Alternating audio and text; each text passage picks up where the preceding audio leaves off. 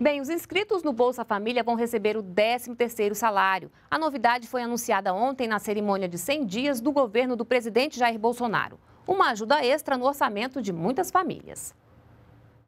Daiane é mãe do pequeno Arthur, de 3 anos, que é autista. Só o marido trabalha e ela conta que se não tivesse o dinheiro do Bolsa Família, não teria como atender às demandas do filho. Tem a questão do uso da fralda, medicação.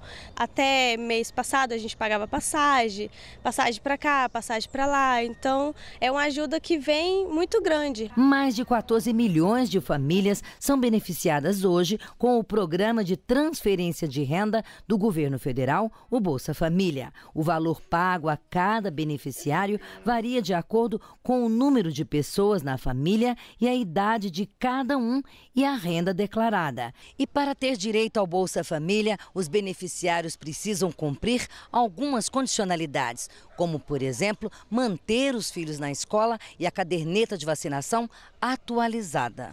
O bente fino do Bolsa Família saiu quem não precisava, entrou quem precisava, acabou a fila.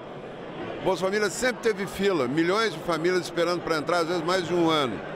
Agora não tem mais. A notícia do 13º no Bolsa Família foi recebida por Daiane com gratidão. Vai ser uma ajuda essencial, não só para mim, mas para todas as mães que dependem do Bolsa Família.